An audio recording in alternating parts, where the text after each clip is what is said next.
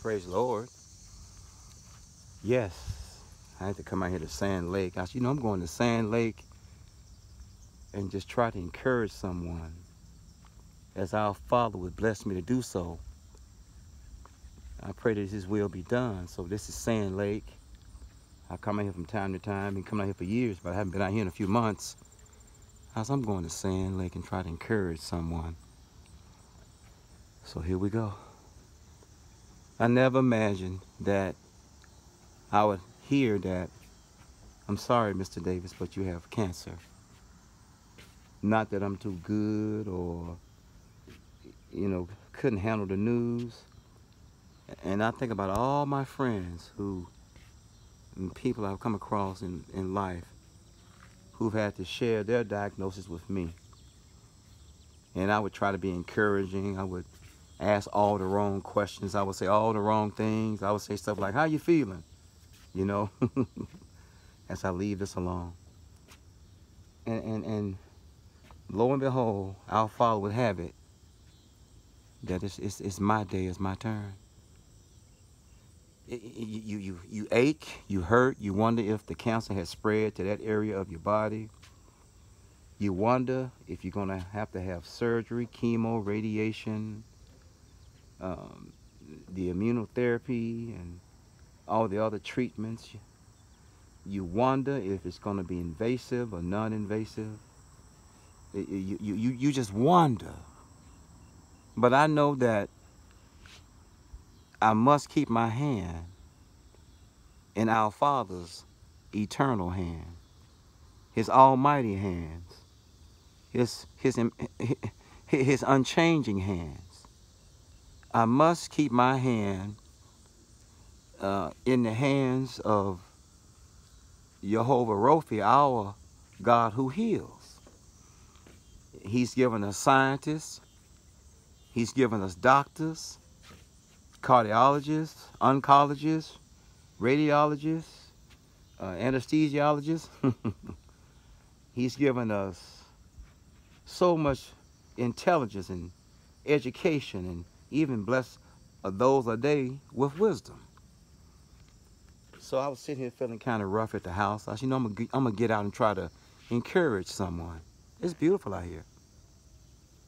And, and so now, as I find myself in the same valley as some of you are in, some of you who I have come out of, and some of you who may one day have the same valley on Layaway.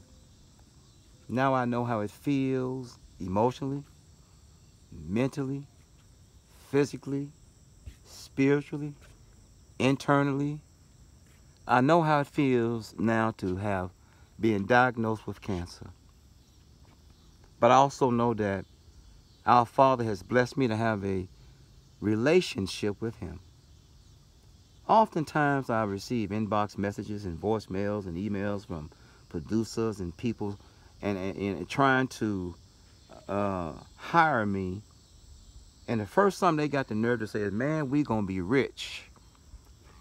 And our father told me a long time ago, the first person that come in contact with you and say, we going to reach the masses, that's the one you sign with. And I pray our Father for the person that's saved and that know you and just want to help somebody will give me the opportunity to encourage the world. I am his encourager, and I'm going to try to encourage everyone I come in contact with.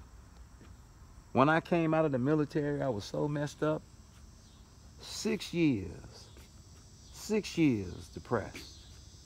Six years inside in a cave. Hooked on everything but the Most High God. And he came and got me out of that every situation I found myself in, every challenge, uh, every condition, every path, every road I found myself in, our Father, who art in heaven, hallowed be his holy and righteous name, has came and got me for himself. So we have to keep our hand in God's unchanging hand, regardless of the diagnosis, regardless of the situation, regardless of the physical, the location, the condition you find yourself in, Our Father will see you through. So Heavenly Father, I ask you to bless me. Look at this. To bless me. To bless everyone who's going through. To bless them, Heavenly Father. To go through. To come out first. And Father God, please come back and get me and pull me through. I'm praying for someone else, Heavenly Father. And Father God, bless me to hold to your unchanging hand. Bless those of us who are going through, need to be pulled through, need to be guided through. Bless us, Heavenly Father, to hold your unchanging hand, regardless of the diagnosis, regardless of the prognosis, regardless of the situation.